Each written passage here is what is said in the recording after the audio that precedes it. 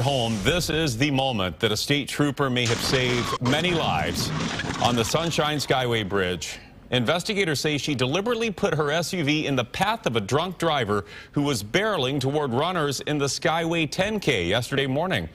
Trooper Toni Schuck is now recovering at home tonight, while the woman who crashed into her sits in jail. Fox 13's Kimberly Kuizon spoke with one of the trooper's colleagues.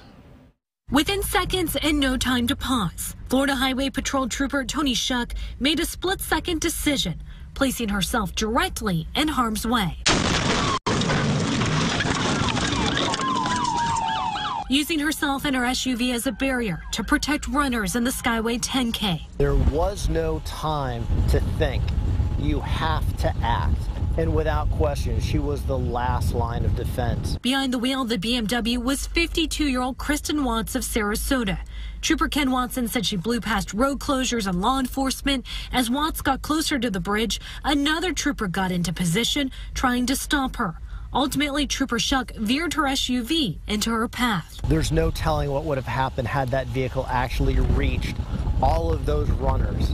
Uh, you know, the bottom line is these troopers saved dozens upon dozens of lives. Watts was wheeled into the Manatee County Jail Monday afternoon. I need public defender.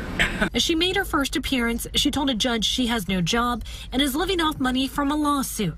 As she faces multiple charges, including driving under the influence, she laughed. Would you have any trouble coming to court? Well, considering I don't have a car. Trooper Schuck is back home, resting with her family and recovering from a head wound and concussion.